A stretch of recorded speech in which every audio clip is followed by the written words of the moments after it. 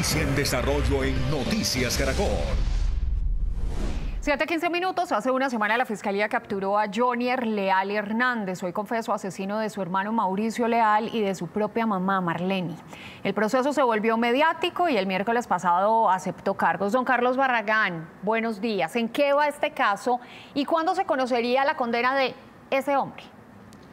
Alejandra, lo primero que tenemos que tener claro es que el señor Joner Leal está judicializado ante el sistema penal acusatorio, es decir, que se debieron suplir tres audiencias eh, en esta primera parte del proceso. Estas son las tres audiencias. Legalización de la captura, es decir, que se respetaron sus derechos, que fue capturado de manera legal.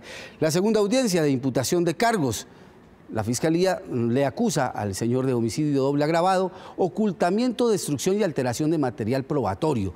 Y la tercera, la audiencia de medida de aseguramiento. Saludamos al eh, profesor y catedrático Juan Manuel eh, Barcálcer de la Universidad del Rosario y le preguntamos justamente a él ¿Qué va a seguir en este proceso? ¿Quién es el que tiene que condenar al señor eh, Leal?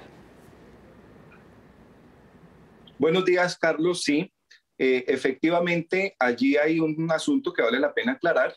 La juez que conoció estas audiencias iniciales es una juez de control de garantías y como el nombre lo indica, lo único que le corresponde a ella es verificar que se cumpla con unos derechos del señor Leal.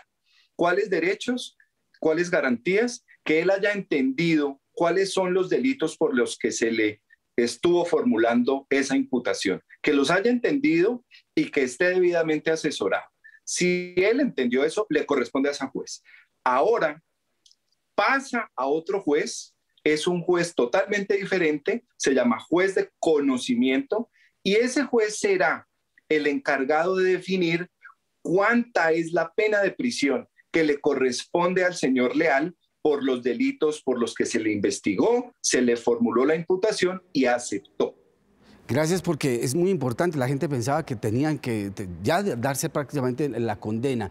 Doctor Barcácel, si el hombre aceptó ya los cargos y el proceso va andando de esta manera como va andando, ¿en cuánto tiempo cree usted que se conocerá la condena del señor Leal? Bien, eh, Carlos, cuando el caso le llegue o sea repartido al juez de conocimiento, tardará entre unos cuatro a seis meses en llegar a tomar una decisión del quantum de la pena. Habrá un par de audiencias en las que la fiscalía presente eh, el caso, habrá un, eh, un trámite de audiencia en el que la defensa presente al señor Leal sus estudios, su composición familiar, lo presente como ser humano y luego de eso el juez ya entrará a validar qué pena le va a imponer al señor Leal. Bueno, bueno, esa es una decisión que, que, tomará ese juez. Pero después de la condena, ¿qué va a seguir? ¿Se puede imputar? Eh, me pareció que la condena es corta. Que, ¿qué, puede, ¿Qué puede seguir? Cuando ha pasado el, ese trámite que se menciona como la, la fijación de la condena, la imposición de la pena, y esa decisión esté en firme, pasará a un juez de ejecución de penas. En firme quiere decir que si la fiscalía apeló porque la pena es muy bajita o la defensa apeló porque la considera muy alta, entonces una vez resuelta la apelación pasa al último momento que va a tener este proceso, que es la ejecución de la pena. Y pasa a un juez de ejecución de penas que vigilará cómo se cumple. Y si él llega a tener algún beneficio por estudio, por trabajo, entonces hará la redención de pena que allí corresponda. Y eso es el juez de ejecución de penas. Doctor Valcárcel, cuando estábamos en esta parte del proceso, imputación de cargos, se especulaba que hubo un preacuerdo entre la Fiscalía y la defensa del señor Iones Leal. En este proceso, o en esta altura de las eh, audiencias, en este proceso, ¿hay preacuerdo o aquí no hay preacuerdo? El preacuerdo ocurre cuando a una persona le han imputado los cargos, no los acepta, entra en una fase de negociación con la Fiscalía para ver si logra hacer una especie de negociación que conduzca a que si acepta los cargos, le concedan algunos beneficios negociados con la fiscalía. En este caso eso no ocurrió.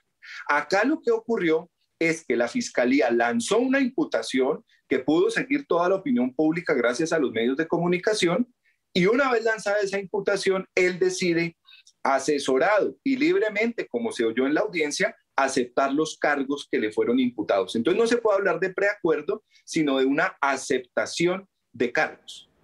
Doctor Balcácer, cuando aceptó cargos se decía que podía tener una rebaja de la condena hasta el 50% de la misma, hasta el 50% de la misma. ¿Cuándo se hará efectiva esa parte, esa rebaja de la condena?